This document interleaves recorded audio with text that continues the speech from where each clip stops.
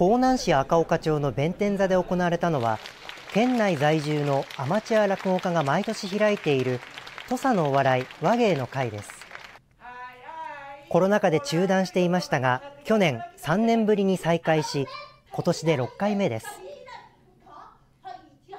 席を埋め尽くす観客を前に出演者7人が落語や民謡などを披露しました。このうち悠々亭のんきさんが披露したのは度を越した節約が笑いを誘う古典落語始末の極意です。ちょうど隣がうなぎ屋や。ああうなぎ屋。ああ食べました食べるかいな。えうなぎの匂いお醤油の甘い香ばしい匂い。なあれがこう来ただけでおまんまが何杯でも食べれんからお前な。ああそしたらな月末におううなぎ屋から請求書が来よる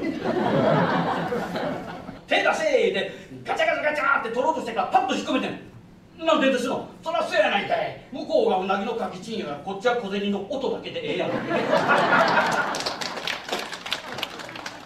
いい初笑いになりました。もう華やかな踊りもありのね本当にあの和やかな落語もありので本当楽しいです。すごく楽しいです。あの子供も一緒に受けてました今年はねいろんな辛いこともねいろんなところあったんやけどすごいまけどあのまた自分らも元気もらって。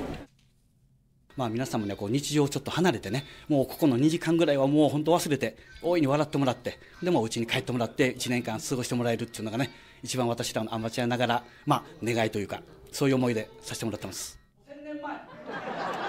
会場は笑いに包まれていました